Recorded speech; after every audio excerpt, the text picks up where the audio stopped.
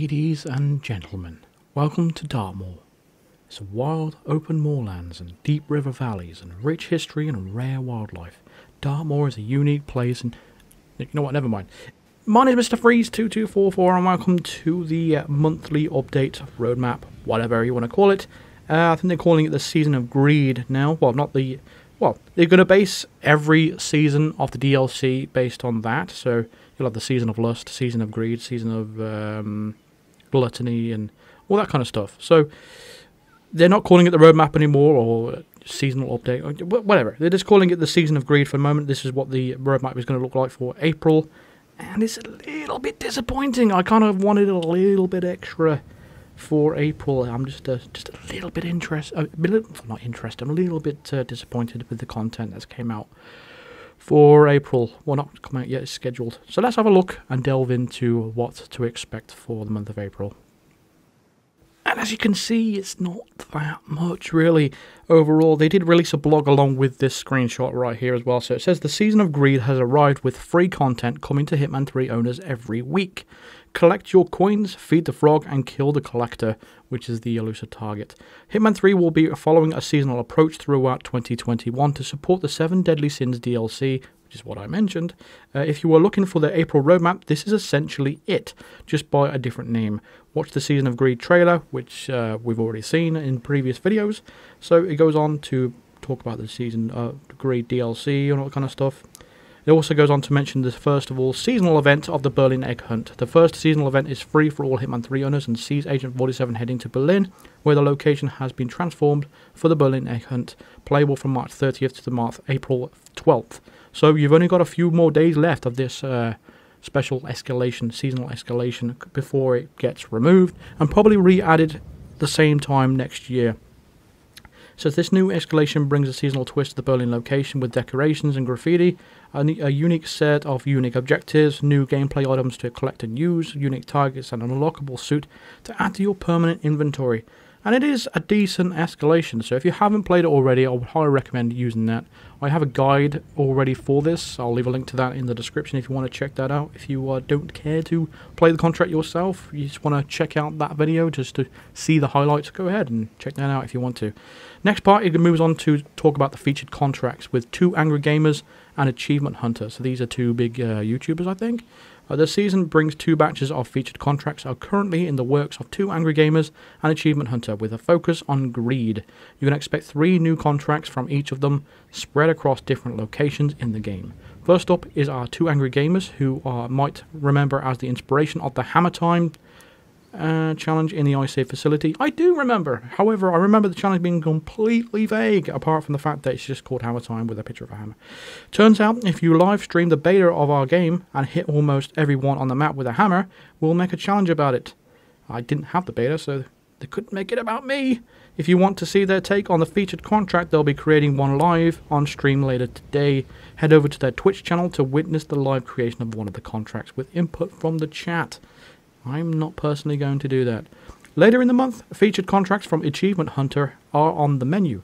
Similar to, to the Angry Gamers, this crew has been integrated with the Hitman games in a pretty unique way. It turns out if you electrocute almost everyone in Paris location with an electrified puddle, we'll add some dialogue about it in the future location. Check out Achievement Hunter's take on the great inspired contracts later this season. I will do, I will do then, I will get to that. I will be covering them in the videos probably. The next part is the Jinzhen, uh, I'll probably pronounce that completely wrong, I'm so sorry. The Jinzhen incident escalation starts in the streets of Chongqing and descend into the facility to find your targets and exact your revenge. From what I saw in the brief trailer, I saw 47 holding a rusty sword. So, and he was wearing the uh, the hobo disguise, the homeless person disguise. Hobo is probably not the correct word. I'm sorry about that if it's offensive anyway. Probably not the politically correct word. Politically correct. Try and get our words out today. But yeah, a homeless person. You have to wear that uh, while using the rusty sword, something like that. That's what I saw in the trailer anyway. Next part is the collector elusive target and the politician elusive target. So Hitman 3's first elusive target arrived Dartmoor April 9th, which is tomorrow, if you are watching it on April 8th, of course. The collector will be in town for just 10 days, and you'll have an op one opportunity to take them out Choose your actions carefully. There are no second chances. The countdown clock to their exact arrival time is ready live in the game. So if you boot up the game, you'll see on the main menus of the countdown to the elusive target. Of course, I will be doing guide for it, and I have uh, going to be doing three methods for that. You should be good to go with that video if you are in need of it. Also, we'll, we'll be doing a stream of it probably about an hour after the um, the elusive target goes live. So be prepared for that. Strap in and get ready for some enjoyment. We can do something special on that. Maybe try and take out the target in some sort of special way. Come up with some ideas for me in the chat or in the comments, I should say. Let me know what I should do with that elusive target special wise coming the live stream. It's been my first live stream of a, a brand new elusive target for many, many, many, many months now. I think it's been over a year actually, so it should be quite a special one. And then it goes on to say the season of greed brings in an elusive target from the Hawke's Bay location, the politician. So you'd need the Hitman 2 access pass for this. I think. Or maybe not, actually. Maybe you just need the. I think it's free to actually download that. So you might be able to play that for free, I think. Even if you don't own Hitman 2. I'm not completely certain on that, though, within Hitman 3. I'm not completely certain with that. Uh, it is currently a featured location in the Hitman 3 free starter pack. There we go. I should have just read the article first. Of course which means this elusive target is available for all Hitman 3 owners and all free starter pack players. Study the briefing closely. Of course.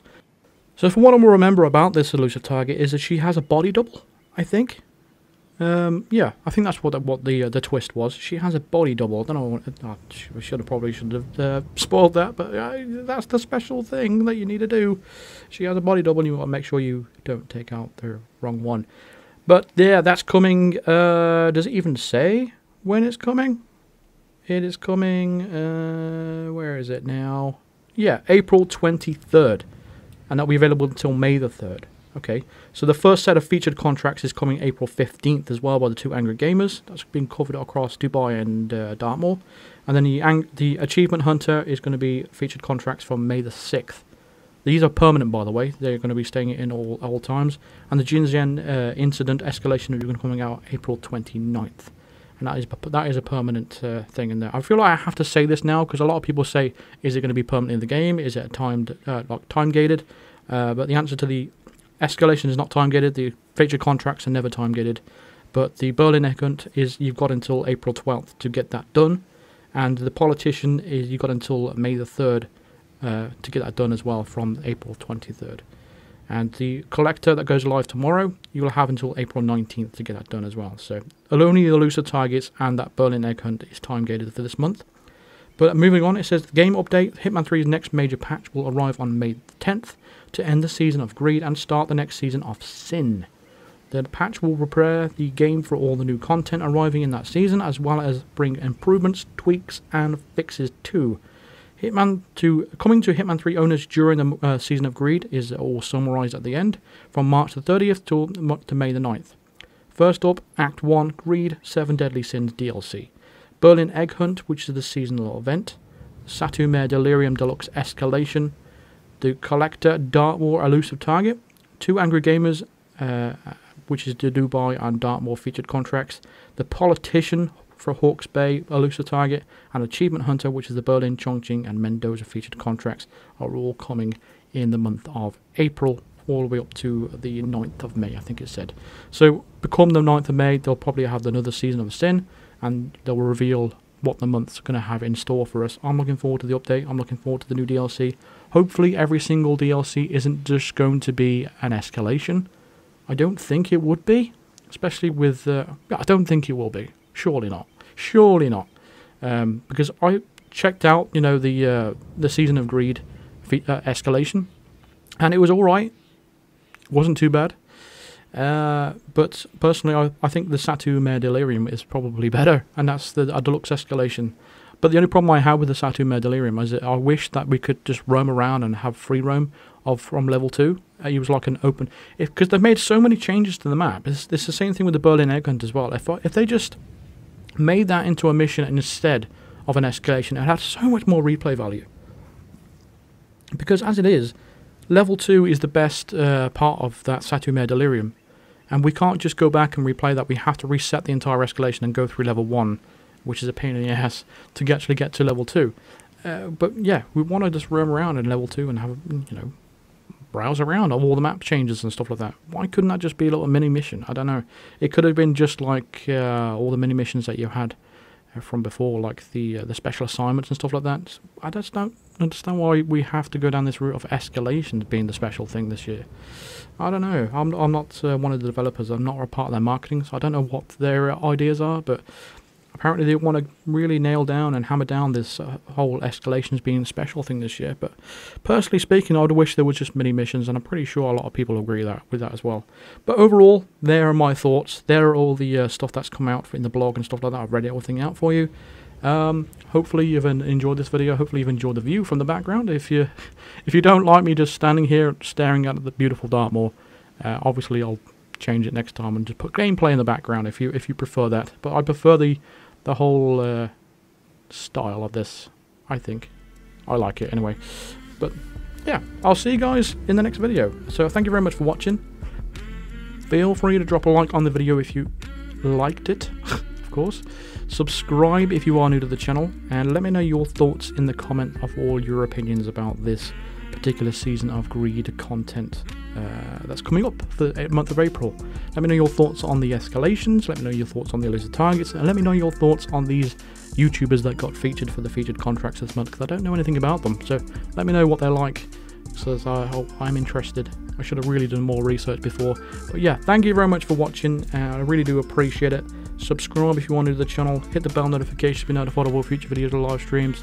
Consider supporting me on Patreon or even becoming a member of the channel by clicking the join button below or clicking the link in the description. And I'll see you guys later on in a stream. Take it easy. Cheers.